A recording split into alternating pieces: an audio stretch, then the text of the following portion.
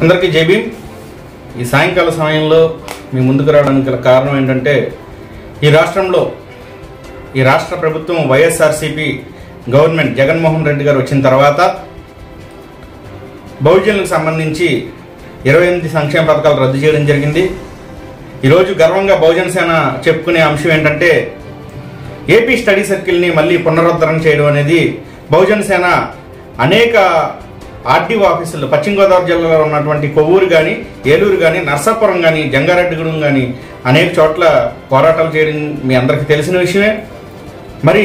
మన హక్కుల కోసం మనం భిక్షమెత్తుకుంటే అవి మన దగ్గరికి రావు. నేను ఒకటే చెప్పదలుచుకున్నా ఈ తరం యువతరానికి కానీ అదేవిధంగా ఉన్నటువంటి మన హక్కులు ఏవైతే ఉన్నాయో హక్కులు పోరాటం ద్వారా మనం సాధించుకుంటామని చెప్పేసి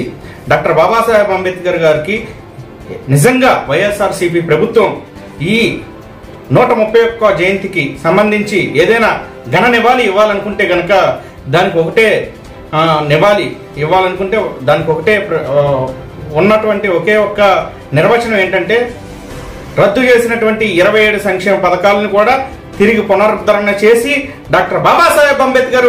మాకు తాడిత పీడిత వర్గాల కోసం అదేవిధంగా బహు బహుజనుల కోసం మాకు కల్పించిన రాజ్యాంగం ద్వారా రాజ్యాంగంకై రాజ్యాంగం ద్వారా మాకు ఉన్నటువంటి హక్కుల్ని తిరిగి మాకు ఇవ్వడానికి మీరు ఆలోచన చేయాలని జగన్మోహన్ రెడ్డి గారిని కోరుతున్నాం. ఎందుకనంటే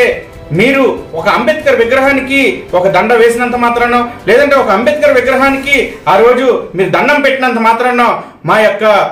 హక్కులు తిరిగి రావు అదేవిధంగా మాకు ఎటువంటి ప్రయోజనం లేదు. మాకు కావాల్సినటువంటి హక్కులు కానీ ప్రయోజనాలు కానీ మీరు నిజంగా డాక్టర్ బాబాసాహెబ్ అంబేద్కర్ నివాళిగా ఇవ్వాలనుకుంటే ఇరవై ఏడు సంక్షేమ పథకాలను పునరుద్ధరణ చేసి నిజమైన అంబేద్కర్ వాదే అని అనిపించుకోవాలని చెప్పేసి బహుజన్ సేన డిమాండ్ చేస్తుంది. బహుజన్ సేన ఒకవేళ ఇరవై ఏడు సంక్షేమ పథకాలు కనుక తిరిగి పునరుద్ధరణ ఈ వైఎస్ఆర్సీపీ ప్రభుత్వం చేయకపోతే ఈ రాష్ట్ర వ్యాప్తంగా ఉన్నటువంటి అనేక ఆర్డి అన్ని ఆర్డీఓ ఆఫీసుల దగ్గర కూడా ఒక ఒక ఉద్యమమై మాతో కలిసి వచ్చే ప్రజా సంఘాల ద్వారా ముందుకు వెళ్తామని చెప్పి తెలియజేసుకుంటూ జై భీమ్ జై భారత్.